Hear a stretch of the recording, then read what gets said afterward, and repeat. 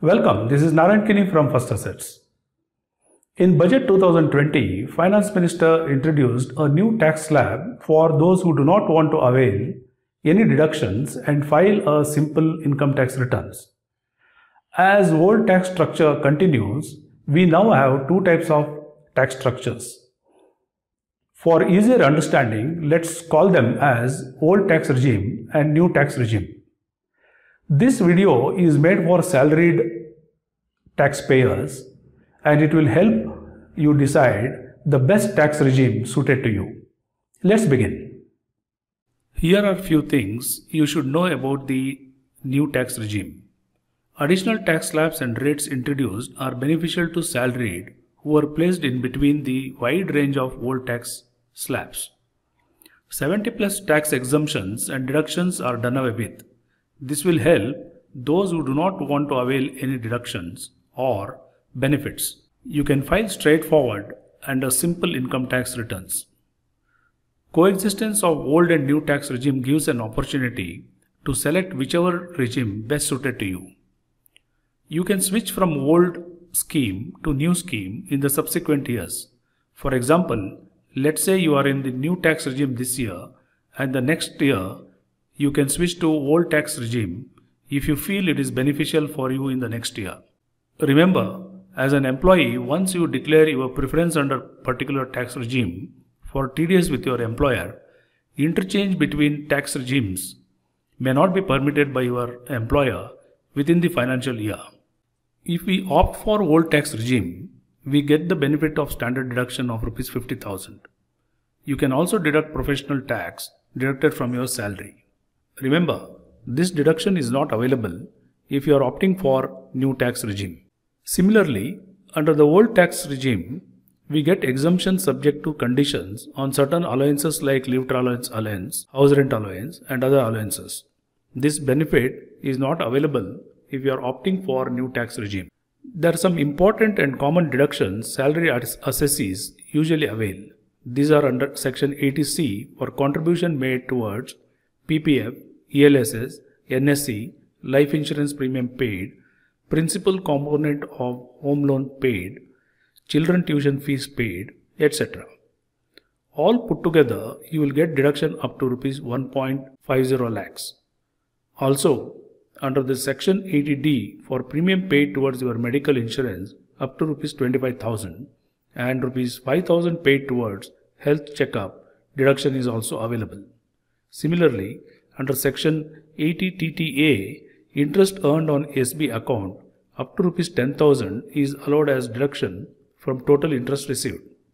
Please note there are many other deductions available besides these sections. If you observe, slabs under new tax regime has been increased to 7 slabs when compared to just 4 slabs under the old tax regime. This will help those placed in between the wide range of tax slabs under old tax regime to move to new tax regime if it is beneficial to you. Please note, cess is payable on income tax amount at the rate of 4% and depending on your income, you have to also pay surcharge on income tax amount from 10 to 37%. Therefore, when you pay income tax, it will be basic income tax as per your slab plus cess and surcharge as applicable. Let's come to the important section of this discussion. We shall try to understand through few illustration how our income tax amount varies under the old and new tax regime. From the table, you may observe if you are getting rupees 7,50,000 under the old tax regime, after providing for net of allowances, you may end up paying rupees 14,581 towards income tax provided you have availed all the benefits under section 80C, 80D, 80TTA, etc. Please note, there are more sections for deductions available if you are eligible. You will pay rupees 39,000 towards income tax if you have chosen to let go all the exemption and allowances under the new tax regime. And it is very easy to compute also. Similarly, if you are in the category of rupees 10 lakhs, you will pay rupees 66,581 rupees under the old tax regime and rupees 78,000 under the new tax regime.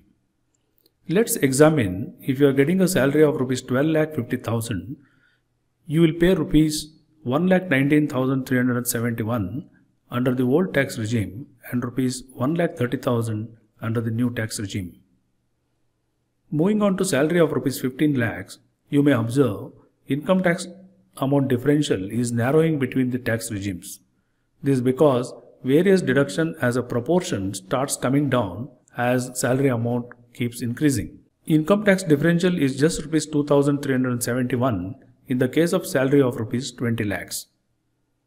Income tax differential is just rupees 2608 in the case of salary of rupees 55 lakhs. Income tax differential comes to rupees 2727 in the case of salary of rupees 1 crore and 50 lakhs. As mentioned earlier, the proportion of deduction under various sections will not be as significant as salary amount increases. But please bear in mind your salary may have components like HRA, LTA and other allowances that are high in value. To conclude, if you are not able to invest or not in a position to invest, it is better you file your tax returns under the new tax regime. If your salary component has high value of HRA, LTA and other allowances, it is suggested you take up the old regime for filing your returns. Depending on the benefit you derive, from year to year, you may change from old tax regime to the new tax regime or vice versa. This is Narayan Kini signing off. Please subscribe to our channel for regular updates on economy, markets, investments and taxation. Thank you. Disclaimer. This video is a simpler version to make viewers understand about old and new tax regime. Therefore, it does not deal with every component of salary, allowances and deductions.